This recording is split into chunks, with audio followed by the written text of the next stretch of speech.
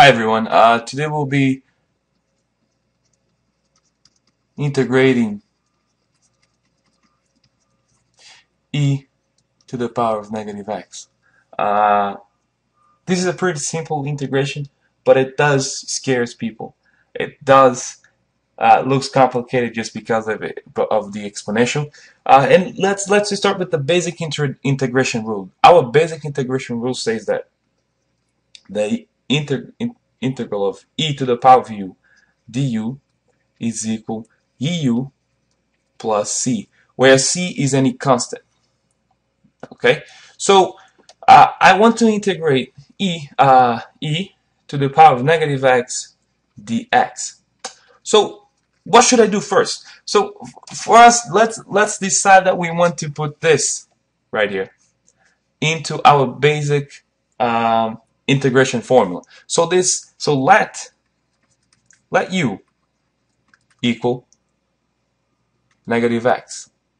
And then differentiate u du over dx is equal negative 1. This means that du is equal negative dx or dx is equal negative du. Now, let's substitute our u into our uh, function. So this becomes the integration of e to the power of u because u is equal negative x. So I have negative x right here. And I will substitute it right here. And then dx is equal negative du because I have to put all the terms in in the in, in u and du. I cannot put e to the power of u and leave dx because that's not going to work.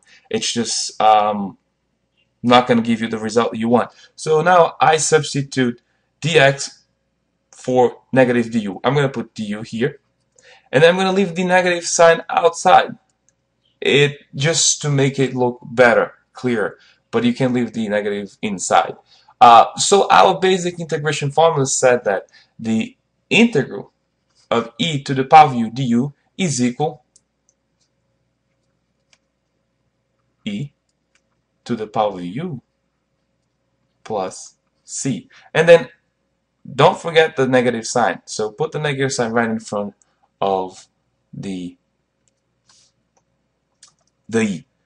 Okay, so who or what is my u? My u is equal negative x. So let's substitute negative e substitute u for negative x becomes negative x plus c, where c where c is any constant.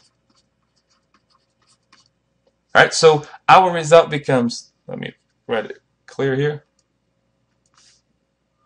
negative e to the power of negative x plus c. Very simple, isn't it? This works out the same way as for e to the power of x. Um, I hope this video helped you. I'll try to post more videos on uh, integration and differentiation.